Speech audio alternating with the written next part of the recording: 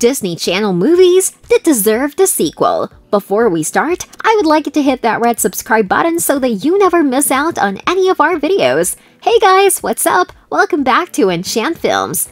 Number 7. Minutemen. In 2008, Disney Channel answered the question of what would teenagers actually do with a time machine with Minutemen. Deceased three high school friends decide to use it to go back in time and undo the humiliating mistakes of other teens. Disney Channel rarely veers into sci-fi, but Minutemen is proof that its attempts are golden. There are real stakes in the first film that despite the silliness, make viewers forget exactly what network they're watching it on. While their time machine may be long gone by the finale, Charlie, played by Luke Benward, has ideas for more inventions that promise equally raucous fun. Number 6. Lemonade Mouth Following its unprecedented success, Disney was inspired by High School Musical to produce multiple musicals in the same vein. Few went as hard as Lemonade Mouth. This teen musical drama tells the story of five high school students who decide to form a band after meeting in detention. It's nowhere near as cliche as it sounds. The acting talent is stellar,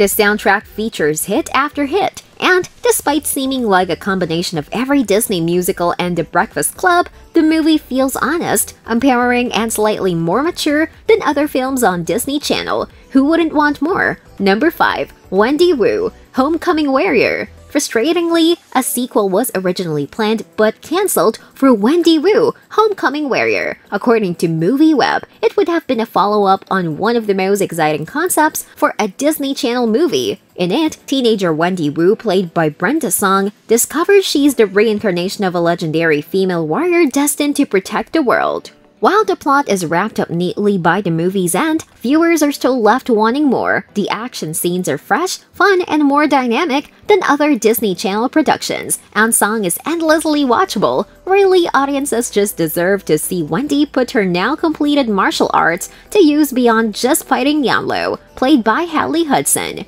Number 4. Pixel Perfect Pixel Perfect has one of Disney Channel's most unusual, complex plots, so it's a surprise the company didn't stretch it across more than one movie. When Roscoe, played by Raviv Ullman, uses his father's technology to create the perfect lead singer for his friend's band, the result is Loretta, played by Spencer Redford, a hologram who becomes more popular than the actual humans in the group. Its premise is admittedly ridiculous, but the movie is unique and has genuinely touching moments, such as the first and last time Loretta gets to feel rain. Even though she's gone by the end, the beauty of technology is that her return would have been easy to manufacture.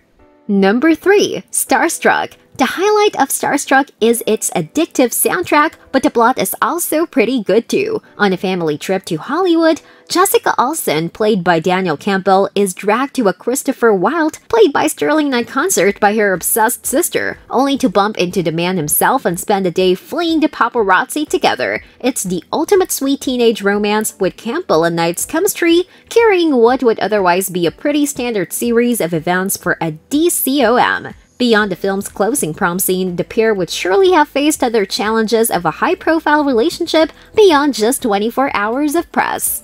Number 2. Cadet Kelly other than playing the titular character in Lizzie McGuire, definitive 2000s tween queen Hilary Duff had another staring moment on Disney Channel, Cadet Kelly. When her mother marries the commandant of a military school, teenager Kelly Collins is forced to join the school herself, where she finds herself its clumsiest, most unorthodox student. Being Disney, there is only one way this can end, with Kelly defeating the odds to thrive on the drill team. Although there's the obligatory love interest in Cadet Major Brad Rigby, played by Shawn Ashmore, the real chemistry is between Kelly and Cadet Captain Jennifer Stone, played by Christy Carlson Romano. While this is never developed on screen, Romano herself told InStyle that she believes there's more there, but without a sequel, fans never got to find out what.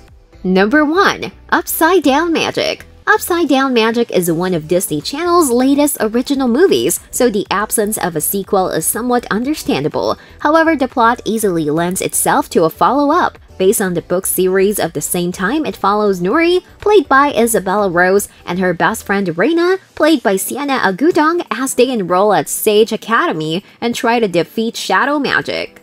Admittedly, it isn't the most unique fantasy plot in the world. However, the world building is strong and immersive, and it's always nice to see a female friendship like Nory and Reina's take center stage. It'll be interesting to see where their paths lead as they grow older and more magically powerful. This brings us to the end of our video. I hope you enjoyed it. Hit like if you did and don't forget to subscribe to our channel so that you don't miss out any of our videos in the future. Also, watch the two videos that are on your screen because I'm sure you'll love them. With that, I'll see you in the next video.